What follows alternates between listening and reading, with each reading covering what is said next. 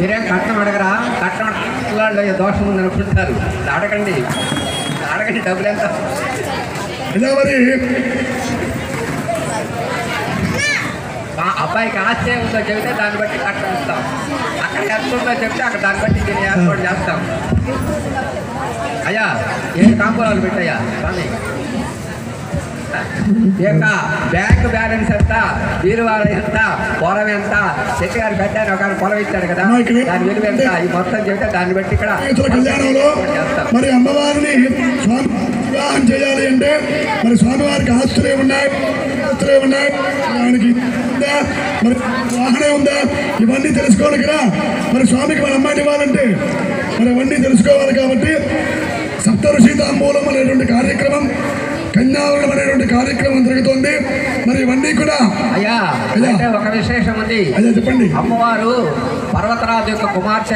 పర్వతంలో ఏముంటుంది? వజ్రాలు వైఢూర్యాలు మణులు హారములు నీళ్ళ కొండలో మొత్తం కూడా ఉంటాయి. నవరత్నాలు ఉంటాయి. నవరత్నానికి అధిపతి అమ్మవారు. అమ్మవారే ఒక రత్నం అయితే ఇంకా ఏమి ఇచ్చాలి కష్టం మీకు? అంటే అబ్బాయి యొక్క రూపం చూస్తుంది. అబ్బాయి రూపం. తండ్రి మాతావిత్తం కన్యావరైన తల్లి ఏంటి అంటే డబ్బు చూస్తుంది పితాతుతం తండ్రి ఏంటి అంటే అబ్బాయి గుణగణాలు ఏంటి? అబ్బాయి యొక్క ఉద్యోగం ఏంటి? మరి మా మా అమ్మాయిని పోషించగలా అని తండ్రి చూస్తాడు. మరి బాంధవాహ కులమిచ్చింది. బంధువులు ఏంటి అంటే కులం ఏంటో గోత్రం ఏంటో ఇవన్నీ తెలుసుకోవాలి కదా. ఎందుకంటే శివుడి గోత్రం ఏంటో తెలియదు. ఆయన కులం ఏంటో తెలియదు. అలాంటప్పుడు వీళ్ళందరూ కూడా కుల గోత్రాలు ఆస్తులు అంతస్తులు చూస్తే వచ్చినటువంటి ప్రజలు ఇవన్నీ మాకేమవుతుంది భోజనాలు బాగున్నాయో లేవో చూస్తారు కాబట్టి వివాహ సందర్భంగా అమ్మవారి దగ్గరికి వెళ్ళి వెతికి రావాలి. ఎందుకంటే పార్వతీదేవి ఆ యొక్క తల్లిదండ్రుల మేనకాయ మంతుల దగ్గరికి వెళ్ళి అయ్యా మేనకాయ మంతులారా మరి మన గూడూరు పట్టణంలో వాసవి కన్యకాపురమేశ్వరి ఆలయ ప్రాంగణమునందు అంగరంగ వైభవంగా స్వామి కళ్యాణం చేస్తున్నాము. మరి మా యొక్క పరమేశ్వరుడికి మీ యొక్క పార్వతీదేవిని ఇస్తారా? నువ్వు అటుంటే మా వైపు మాట్లాడతావు? రెండు వైపులా మాట్లాడుతామండి మ్యారేజ్ ఏమైనా ఫిక్స్ చేసుకున్నావా? యతసాగర పర్యంత అమ్మవారి గురించి చెబుతున్నా వినండి. యతసాగర పర్యంతం గో మహాదేవేభ్య శుభం భవతు. కాశ్యపావత్ కాశ్యపావత్సారణేభ్యో త్రయాదశే ప్రవరాన్విత కాశ్యపగోత్రోద్భవస్య మహావేరోన్నత్రే మందరాత శర్మణ పౌత్రీం హిమాత శర్మణ పుత్రీం సా కుండగండే దుర్గండ గండాత్మకే అంగ వంగ గలంగ కాశ్మీర కాంబోధ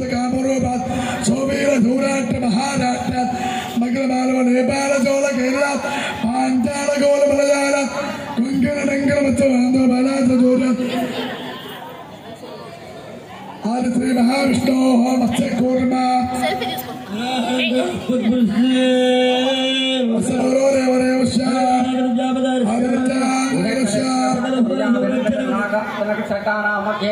శాలివాహనసకే ఇదానీ అష్టావింశత్ మహాయువానికాని స్వస్తి శోభంకృతనామ సంవత్సరే ఉత్తరాయణే ఉత్తర వైశాఖమాసే శుక్లపక్షే వాసనావాసత్వాసయుక్తాయాం కష్టాలతోటి సుఖాలతోటి త్వరగా పూర్వంగా ఉంటాయి విశాలాక్షమ్మ సుఖంగా ఉన్నంతకాలం వచ్చి నక్షాలకు బాయ్ బాయ్ చెప్తావేమో నాకు బాయ్ బాయ్ చెప్పవాకమ్మా నాతోనే ఉండమ్మా అంటున్నాడు. స్వామి నేను ఇంకెక్కడికి వెళ్తాను? నేను నీ పక్కనే ఉంటాను. జీవితాంతం కూడా నీతోనే ఉంటాను స్వామి చెప్తూ చెప్తుంది అందువల్ల ఆ యొక్క జీలకర్ర బెల్లాన్ని ఈ యొక్క నాడీ మండలంలో ఉంచడం ద్వారా పరస్పర అనురాగం కలుగుతుంది. దంపతులకి ఇద్దరికి కూడా ఆ పరస్పర అనురాగం కోసంగా ఆ యొక్క నాడీ మండలం నుంచి ఆ జీలకర్ర బెల్లాన్ని అమ్మవారికి స్వామివారికి ఆ మిశ్రమాన్ని ఉంచడం జరిగింది. తర్వాత ప్రధానమైనటువంటి మాంగళ్య సూత్రముల యొక్క ధారణ పూజ జరుగుతుంది. మంగళసూత్రములకు అధిపతి లలితా పరమేశ్వరి అమ్మవారు. ఆ అమ్మవారిని పూజించేటువంటి సందర్భంలో మనం పూజ చేసి అమ్మవారికి సమర్పించే ప్రార్థన చేస్తూ అమ్మవారిని ఆ యొక్క లలితాదేవి అధిపతి అయినటువంటి మంగళసూత్రములను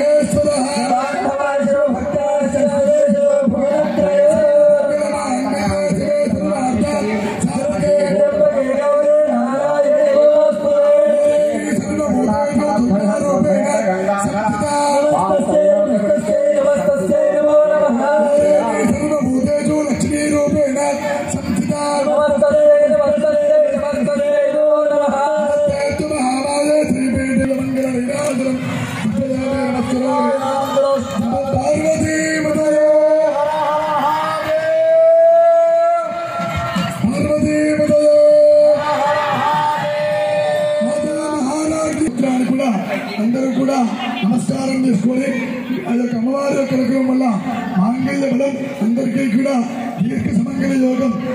కలకాలం ఉండాలని మనస్ఫూర్తిగా ఆది దంపతులు ఎవరిగా అంటే పార్వతీ పరమేశ్వరులు ఇదిగా అమ్మవారి యొక్క అనుగ్రహం అందరికీ ఉండాలని మనస్ఫూర్తిగా నమస్కారం చేసుకొని ఒక్కసారి ఆ యొక్క వారణాసి క్షేత్రం నుంచి వచ్చినటువంటి స్వామి ఆ యొక్క నామాన్ని చెప్తారు. అందరూ ఆ యొక్క నామాన్ని ఉచ్చరించండి. సర్వమంగళ.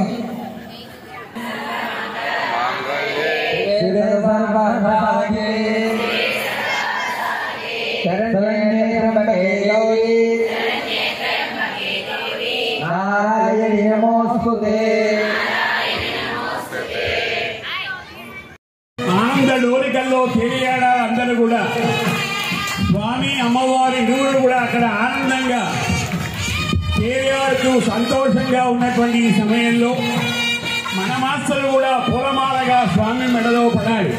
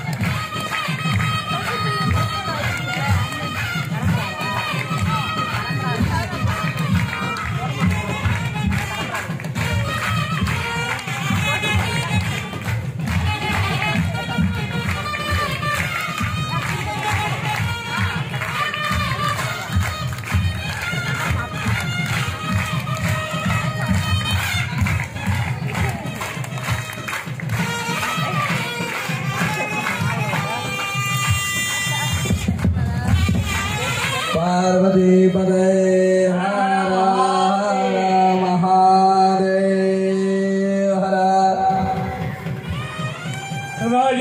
అండి అడుగులు వేయటంలో స్వామివారి ఆయన నటరాజు. నాట్యానికే రాజు ఆయన. అటువంటి చక్కటి పద నర్తనలతో స్వామివారికి చక్కగా హారతులు. అలాగే ఇప్పుడు ఇంకొక రెండు పుష్పమాలను స్వామివారి యొక్క గలసీమలో అలంకరించబోతున్నాయి. అయినా మేడం చక్కగా దానికి అను